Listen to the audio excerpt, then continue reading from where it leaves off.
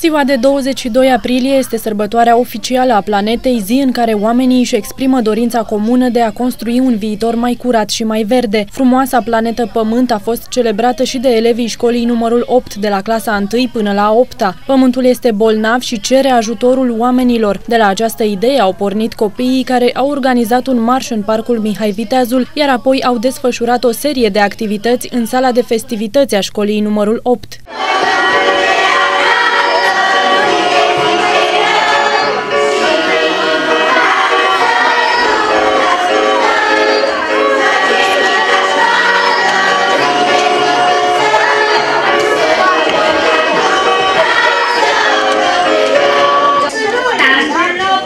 Strălucesc în dor cu toții pământul, cu apele, oamenii și plantele, iubesc și eu plătesc și atunci când se odihnesc cu, cu toții.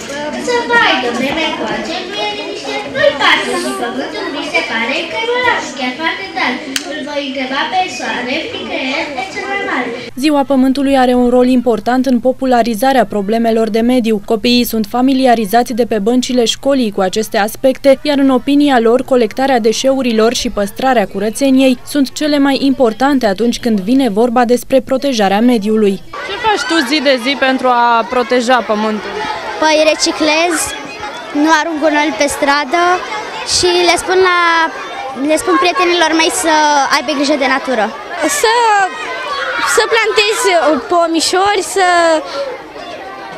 să fac mai multe să despre mediu. Gunoaie, să nu arunci gunoaiele pe jos.